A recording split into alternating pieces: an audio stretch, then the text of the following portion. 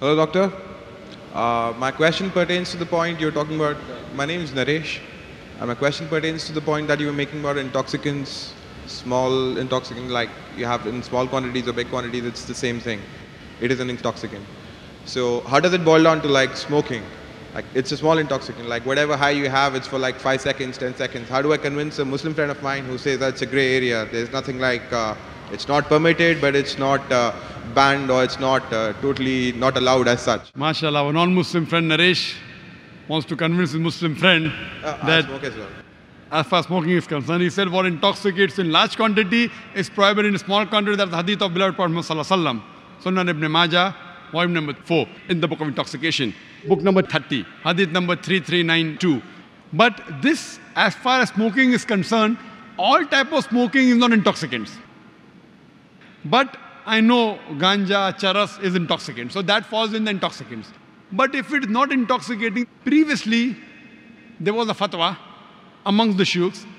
There's a hadith which says that don't have onions because it smells. So when you go for salah, don't have onions, it has got bad breath. So based on that hadith, people used to say that smoking is makruh because it smells.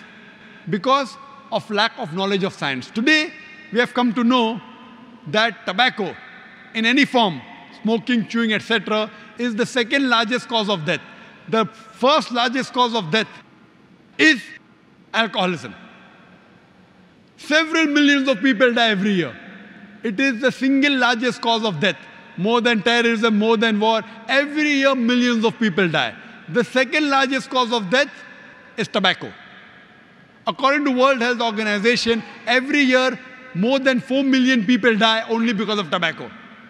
Now, based on this, there's a verse of the Quran in Surah Baqarah, chapter number 2, verse number 195, which says, Do not make your own hands the cause of your own destruction. That means committing suicide or causing self loss is prohibited. So, based on this verse, today we come to know smoking is nothing but slow poisoning. So, based on this verse today, there are more than 400 different fatwas from different parts of the world that smoking is haram, tobacco is haram.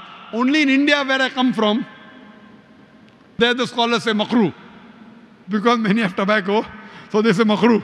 But today, Saudi Arabia, Egypt, many parts of the world, there are more than 400 fatwas saying that smoking and tobacco in any form, nicotine is haram.